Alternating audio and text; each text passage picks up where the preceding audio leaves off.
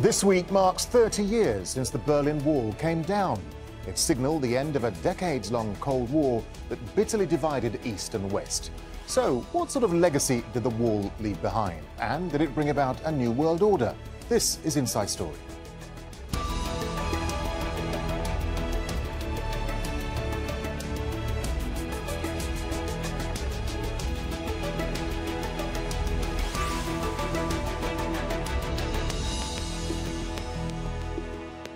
Welcome to the programme. I'm Darren Jordon. It was the single most important moment since the end of the Second World War. On the night of November 9th, 1989, the Berlin Wall came down. It drew to a close one of Europe's darkest chapters. Since 1961, the wall was a physical reminder of a divided East and West, the Soviet Union on one side and NATO and its Western allies on the other. Hundreds of East Germans climbed on top of the wall, chipping away at the concrete with hammers. On the other side, their cousins came out in support in their thousands. The East Germans were shouting for freedom and democracy after decades of communist rule. Television cameras broadcast the jubilant scenes around the world. Well, let's have a look at some of the events that led to the rise and the fall of the Berlin Wall. Well, at the end of World War II, Germany was divided.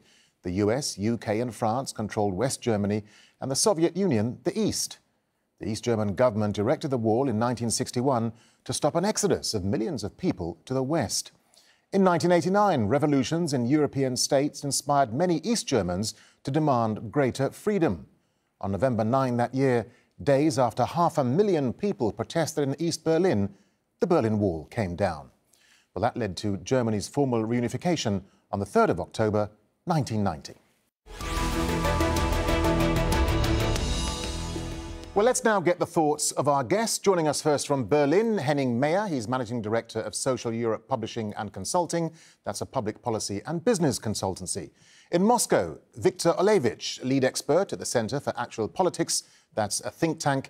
And in London, Elisabeth Braw, Senior Research Fellow at the Modern Deterrence Project at RUSI and author of God's Spies, the Stasi's Cold War espionage campaign inside the church. A warm welcome to you all. Henning Meyer, let me start with you, if I may, there in Berlin, because you're there where it all happened 30 years ago. What do you think the Berlin Wall came to symbolize for people living on both sides? And what, what has re- reunification meant uh, for the people of Germany? Well, the Berlin Wall was obviously the symbol of uh, the, the, divide in the country that I grew up in. I mean, I personally grew up in the southwest part of Germany, so I had a artificial knowledge, if you wish, of, of the wall itself. So nothing compared to what is now the, or was the case in Berlin.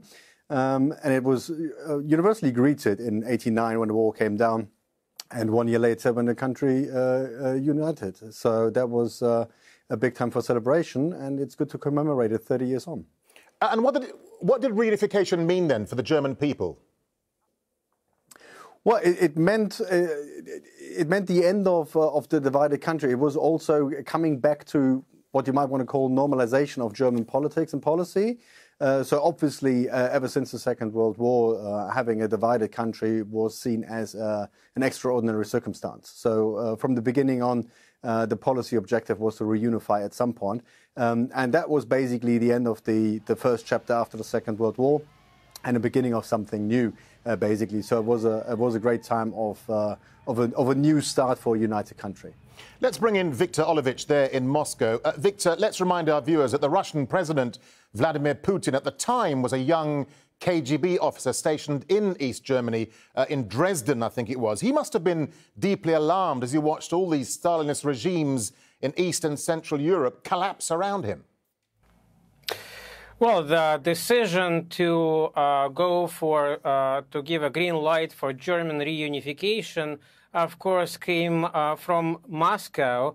It was the Soviet authorities at that time under uh, Mikhail Gorbachev who had decided that uh, the Soviet Union could no longer uh, or did not uh, want to manage the Cold War with the West, uh, that it was not in its uh, national interest. And uh, there were a number of reasons for, for that, for, starting from the increasing economic difficulties in the Soviet Union in the early, mid, and late 80s uh, to the unwillingness of Moscow's unwillingness to support its uh, Eastern European allies, including East Germany, financially uh, and in other uh, terms, and also uh, the fact that the Soviet political leadership uh, itself uh, did not any longer subscribe to a large extent to the Marxist-Leninist ideology that stood at the core of the Soviet state for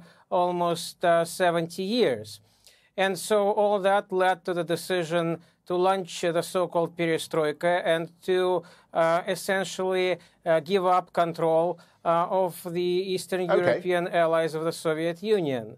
Uh, now, uh, the KGB that you mentioned uh, a few minutes ago, where uh, the current Russian president uh, served uh, at that time, actually played an instrumental role in uh, in uh, letting Eastern European allies and satellite states uh, leave the Soviet the Soviet bloc. So at that time, Putin actually was quite supportive of those policies. All right, Viktor, we'll come back to the issue of perestroika and glasnost a little later in the program. Elisabeth Braw, there in London, let me bring you into the debate. I mean, the Berlin Wall came to represent the lack of freedoms, I guess, under communism. But, uh, but more significantly, how do you think it came to symbolize the Cold War and this ideological divide between East and West?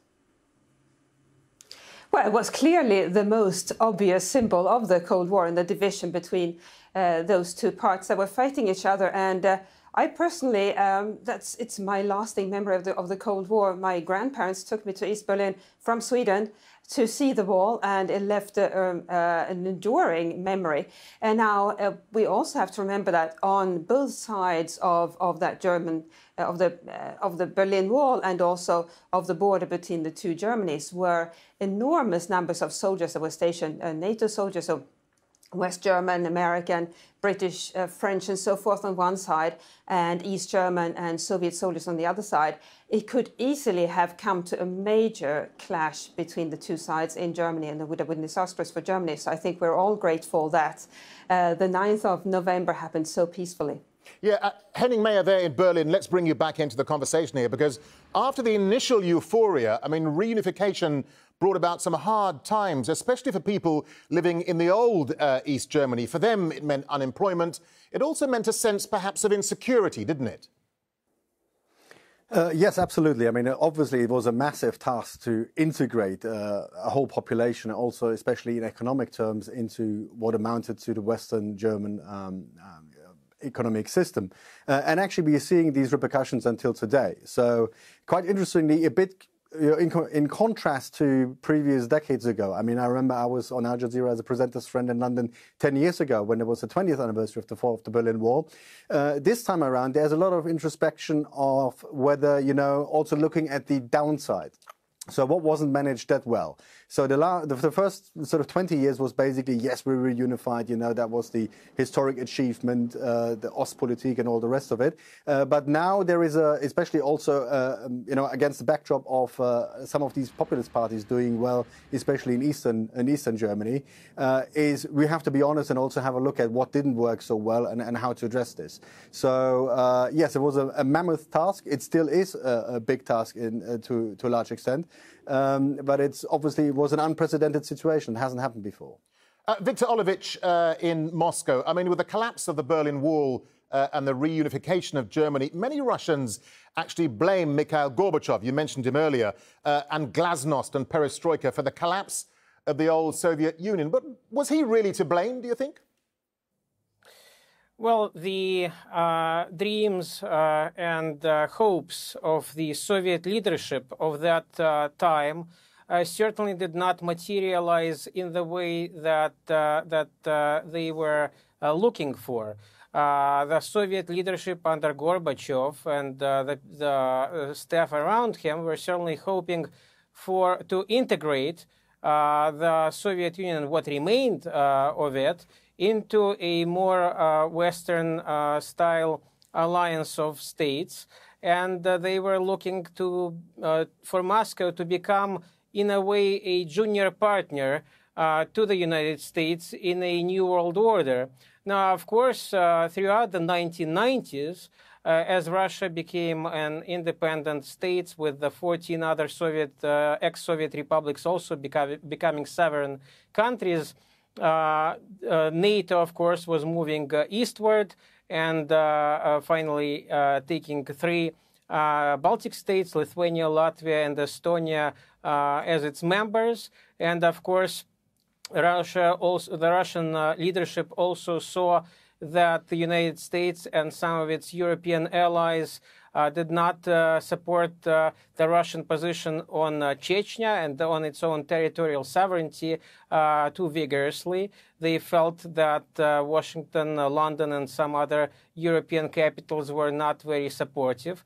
they were also worried about uh, the Bush, uh, the George H.W. Bush administration abrogating, unilaterally abrogating the anti-ballistic missile treaty in 2003 and starting to build anti-missile uh, facilities around Russia's borders. All of that, uh, all of that taken together with uh, what Moscow saw as the unwillingness of uh, the United States and its allies to truly integrate Russia more uh, more deeply into its institutions.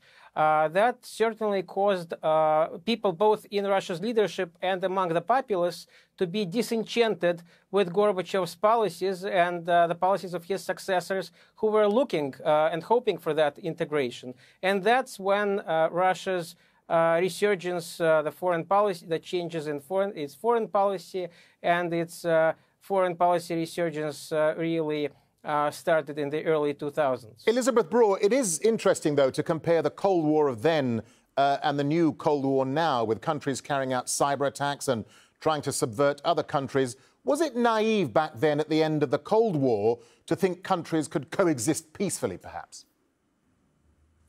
Well, absolutely was, even though all the pundits of the day seemed to agree that that was a perfectly reasonable uh, position to take. Now, if you look at kids in, in the sandbox, I mean, it, it's, they just never get along, and it's like that with countries too. They can uh, they can establish rules and more or less adhere to them, but it's it's naive and even foolish to think that they will all all of a sudden all just agree. And that's what has happened. Uh, there hasn't been agreement on which country should be play the leading part in the world, and so uh, the the U.S. Uh, leading role, which we have had now for for a number of years is being challenged not just by Russia but by China as well, not uh, primarily through mil military aggression but through other ways which you mentioned, for example, cyber attacks and, and disinformation. Um, Henning Meyer uh, in Berlin, I mean, let's not forget that the German Chancellor Angela Merkel also came from the old East Germany. How did those events, do you think, shape her politically? Because she may be an East German success story, uh, but she remains deeply unpopular in the east of the country, doesn't she? Well, it depends. I mean, uh, certainly not at the beginning of her chancellorship. She wasn't un un unpopular. So she was more or less actually when she took over the helm uh, from Gerhard Schröder that there was, you know, uh, there was no glass ceiling anymore. There was no obstacle for somebody who grew up in the eastern part of Germany to actually become chancellor and, you know, go go to the highest office. So that was actually at the beginning uh, uh, quite the opposite. That was seen as, look, we got the same uh, chances as as people coming from from the west. But let me make a, a quick remark on the on the what happened after the end of the the, the, the Cold War, the conflict. Uh, to my, uh, in my view, it's been not superseded, but at least complemented now by uh, an economic conflict, uh, an economic conflict of systems uh, that you can see now, uh, which is inter, interconnected with the issue that you talked about about cyber attacks, and given that how data and and and intellectual property and everything that digital is is a foundation of modern capitalism. Um, so the the conflict between states. Uh, has been uh, has been played out uh, more and more in the economic area, and I think you know we just shifted the the, the scene a bit. Uh, but you can see that today that there is a, a big conflict of economic uh, uh, philosophies, if you, if you wish so, which comes with power, which is, is a new game in town as far as I'm concerned. Viktor Olevich, I want to speak to you briefly about um, Vladimir Putin because how did those events back in 1989 shape him, do you think, uh, in driving the re-emergence of Russia as a, super, as a superpower? Because many people say when the Soviet Union collapsed, Vladimir Putin was embarrassed. Um, and, you know, he, he basically wanted to help get Russia, re-emerge Russia on the international stage. I think what really shaped uh, Putin's uh, worldview at that time was the fact that uh, it seemed uh, to him that the Soviet Union gave up its uh, predominant uh, role in Eastern Europe and in other uh, uh, regions. It allowed Eastern European states to move into the Western uh, sphere. it allowed some former Soviet republics to also move into the Western sphere. the Soviet Union itself collapsed into uh, 15 uh, states, as I said before. And what did the what did Moscow get get for it from the West? Uh, in his worldview uh, and in the view of uh, millions of uh, Russians, the Soviet, the Russia, Russia, the ex-Soviet Union, got nothing for it and became a much weaker state that Washington and its allies no longer took as seriously as they did uh, when it was one of the two leading superpowers. And so, uh, what uh, so Putin at that point understood uh, or thought and thinks uh, that in order for Western powers and and other world powers to to um, take into account Russia's interests and Russia's positions on various international topics, Russia has to be strong, Russia has to be assertive, uh, and uh, at times Russia uh, has to be proactive in in uh, stating its goals and promoting them on the international stage. And that's one of the reasons that the that Russia's Moscow's foreign policy under Putin since uh, the beginning of 2000s has become more assertive uh, and more vigorous okay. as far as its uh, dealings with, uh, with its Western uh, counterparts. Elisabeth Braw, I mean, for a few years after the fall of the Berlin Wall, America didn't have any major competitors. Let me ask you, how has that changed? And are we now seeing superpowers like China uh, mount serious challenges to US dominance? Yes, we absolutely are. And we have to remember how incredibly fragile those early years after German reunification were when uh, Soviet soldiers and, and, then subsequently Russian soldiers were still stationed in East Germany. I was a student there at the time, Eastern Germany, I should say, and uh, Soviet so soldiers were being uh, gradually withdrawn, but they were still there until 1994. And we are very lucky that there was no incident involving uh, Russia and, and the West.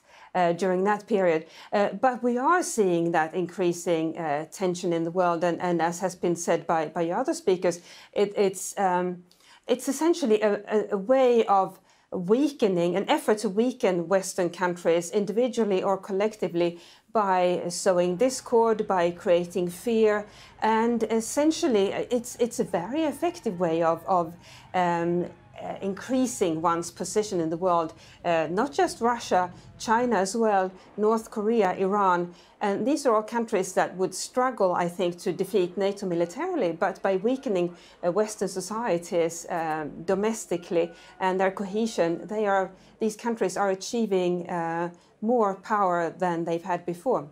Henning Meyer, let me ask you um, how do you think Europeans see Germany today? I mean, Germany as a country, as we know, has gone through huge amounts of upheaval and violence, two world wars, yet it's emerged as a beacon uh, of tolerance, of multiculturalism, and it's the main economic and defence powerhouse of Europe. Uh, yes, I think well, German reputa reputation has obviously uh, well changed dramatically since the Second World War, and there was a conscious effort to rebuild this. So there, there was no coincidence that the, the post-war policy was the German national interest is actually equal with the European uh, interest, and especially in uh, in a world that was alluded to already, where conflict lines are becoming more apparent again. Uh, I think everybody would agree that you know that idea that the we saw the end of history after the uh, end of the Cold War was uh, was much more was very premature. So in you know in the context of the emergence of uh, of these new conflict lines, uh, Germany has a very important role in Europe to play uh, in order to make or help make Europe fit uh, for that kind of global global circumstance especially against the backdrop of a Brexit, whether we see it or not. Uh, Viktor Olevich in Moscow, many experts say the fall of the Berlin Wall defined uh, a new world order. You mentioned it earlier. But does Russia today provide an effective counterbalance to the US uh, the way it did during the old Cold War? Well, Russia at this point has no ideological alternative to the uh, so called liberal world order that the United States promotes around the world. Moscow may not be happy uh, about uh, the ideological uh, backbone of that order. It may not uh, find that order to be uh, to, to, to, be congruent with its foreign policy goals but at the same time, uh, Russia has limited ideological reach. So at this point, Russia's foreign policy is uh, is uh, focused on promoting Russia's national interests, uh, both in the ex-Soviet uh, space, uh, in the so-called near abroad, which Russia views as, as its sphere of influence, to outside regions such as Africa, where Moscow is becoming more uh, active and more assertive to Latin America, where Moscow also has both political, economic, and other interests, and in the uh, East Asia and Pacific uh, region, where uh, Russia has uh, has uh, worked on building new alliances to counterbalance Washington's attempts to prolong its unipolar moment. So Russia is essentially interested in creating a okay. multipolar world order where Moscow will be one of the main poles, not uh, not a single, uh, not a unipolar system, uh, but a multipolar system where both Washington, Moscow, and Beijing, and possibly some other capitals will play leading uh, leading roles. Elisabeth Braw, many experts say the fall of the Berlin Wall did help define this new world order. We saw the end of the Cold War. We saw nuclear treaties being signed like START. What would you say is the legacy of the war from your point of view?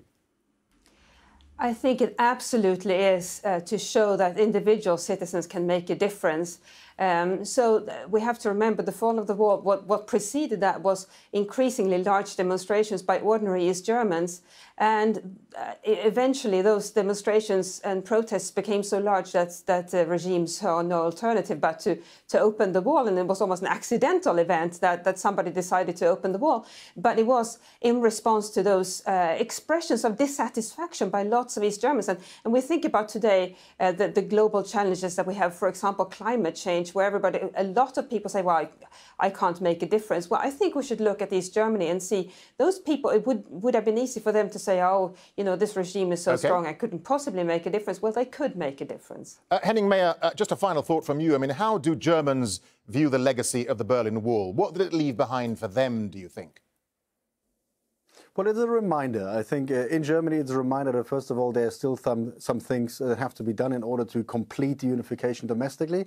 But it's also a reminder that you know that unified Germany plays a, or has to play a very special role in Europe, in particular, to make sure that Germany, within the framework of a European Union that is one of these poles in a multipolar world, uh, is able to exert its influence and uh, make sure that you know we're not we're not caught in the middle between uh, the power play of different blocks. It's a compelling discussion, but we have to leave it there. Thank you very much indeed for your time. Henning Meyer, Viktor Olevich, and Elisabeth Braw. Thank you very much. And thank you too for watching. You can see the programme again anytime by visiting our website, aljazeera.com. And for further discussions, go to our Facebook page. That's facebook.com forward slash AJ Inside Story. And you can also join the conversation on Twitter. Our handle is at AJ Inside Story. And from me, Darren Jordon, and the whole team here, goodbye for now.